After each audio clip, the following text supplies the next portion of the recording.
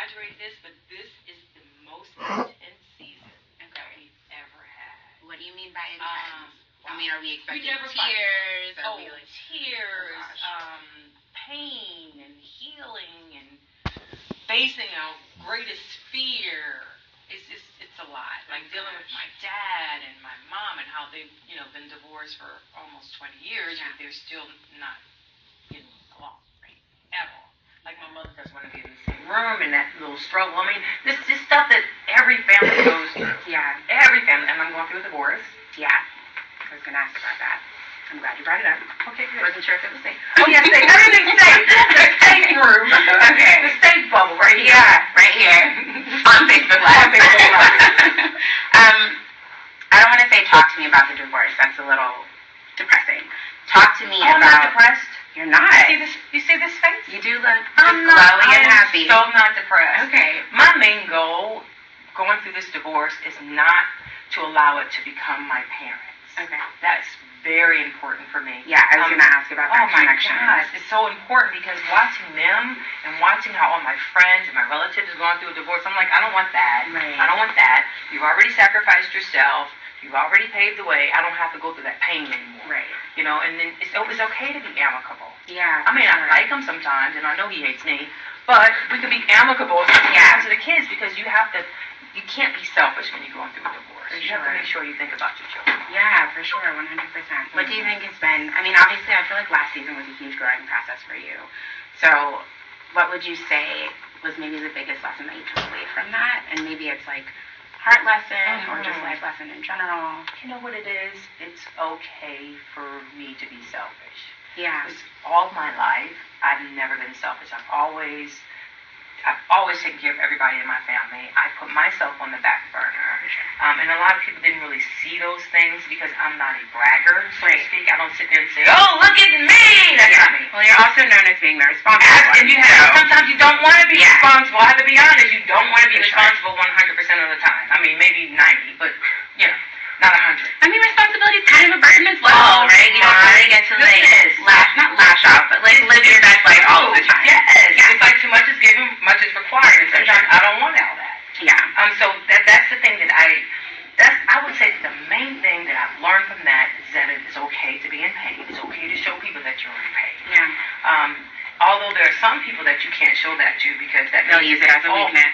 And they and then they become weaker. And I'm like, oh God, I have to forget about me. Yeah. And help this person, help strengthen that person. That's um. So that's that's one of the main things that I've learned. It's okay to be self. It's okay to put your feelings out there and your emotions. It's okay to be emotional. Yeah. Um, do you think that that was something that, I mean, obviously that's a learning process, but have there been like low points for you and like learning that it's okay to be like emotional or vulnerable? Like, was that something that you had to sort of like find within yourself? Yes, and also you have to remember everybody in my family has always been emotional. Yeah. So when they see me do I mean, you're all artists, so that makes sense. Yeah, And that's why you guys put out such great work because you're emotional. Yeah. but when they see me do it, they forget that it's me. They become narcissists.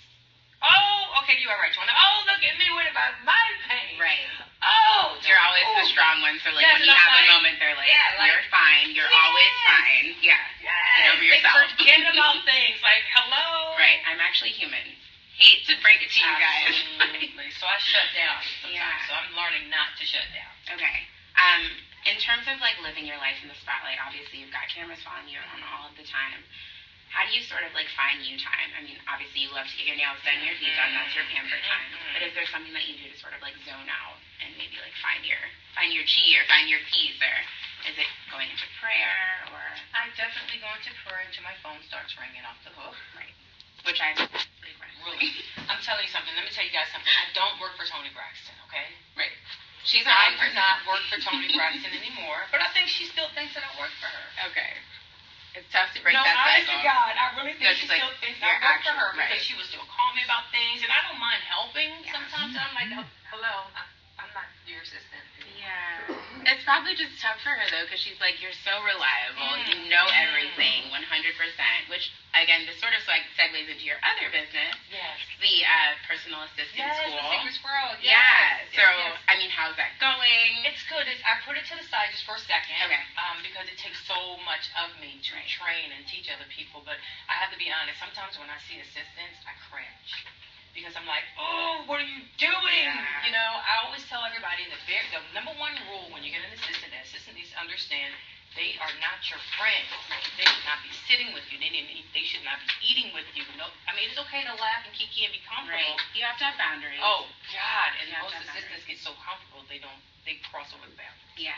I sort of blame social media a little bit for that, And and that's even before social media. No, they just don't care. It's like okay, they're just happy to like be in the spotlight, sort of Mhm. like in the background of the spotlight. But like, absolutely. yeah, sort of Yeah, like I have losing a lot of rules. everything. As you should, but this is why she's always calling That- you that's because you exactly have why. Yeah. Yes, exactly. And you're like, girl, got to Exactly. got to go. And when I have business right, to and take when care you of. spend when you spend the person that you're working for is money, spend it like it's yours. Don't spend it like it's theirs. Right. Like don't go- spend it like they haven't made like incredible amounts of it. Yeah. Exactly. Even if they do, don't do that. For sure. I feel like we're getting business lessons Yes. here, guys. This is like a well-rounded interview. That is free ninety nine. Free of charge. Free of charge. Um, it's Valentine's Day, It obviously. What's sort of like in the plans for you? Do you have dinner plans? Are you taking your kids out? Are you looking for Um, love? You know, I don't want to look for love. I want, I I feel want you. it to find me. I get that. Amen for that. I don't want to look for it because if once you look for it, it's not gonna last. Yeah. Just let it just kind of happen. Yeah, it's true. But you I think a woman should be found? Yes. We need to be courted again. Yeah, We don't that's like not really a thing anymore. No. I have conversations with my friends about this all the time. Well, yeah, because there's like so many different like terms for whatever dating or not like talking, are the new bitches. taking. I just, Aren't they though? I just Men are the new. Most some men. Y'all don't be mad at me, but some men are the new bitches, and if you're mad, that means I'm talking about you. Oh. You know what I'm saying? calling you out shots I'm just saying, just to being honest. They are the new bitches because it's like they want to be courted. Yeah. It's like they want you to call them. No. I will say though that women have sort of had a hand in that, Yeah, we right? did it. Um, Let's yeah. raise our hand. Yeah. Let's raise our hand. We did it. I'm I know people that did it. I didn't Yeah. do it. I know you didn't do it. I, I did. A we know it. No. I have to be honest because when you when you're in a relationship, you pamper, you spoil, You and then they become accustomed to their lifestyle, Right. and then it And you get used it. to not being pampered and You see what I mean? It's like That's true. I'm saying, okay, it's okay to treat me like this. No, I'm not doing that anymore.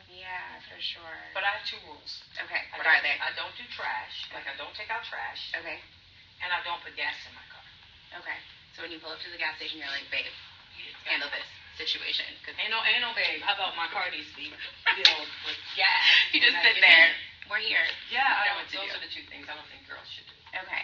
Um, I feel like this is getting good. Like, I want more love lessons. Ah. Um, in terms of like teaching your son and your daughter like how to court in general, or be courted, and how to court since you have a son and a daughter. Um, what is that process like for you? I mean, they're still young, so you're not really checking for it. I, I've taught my daughter at a very young age stuff that I know I can't say on Facebook Live, but I'm going to tell you a little later. Okay. Um, but I do tell my, I call my son's package, I call it a motorcycle. Okay. And I always tell him, do not allow anyone to ride your motorcycle without a helmet.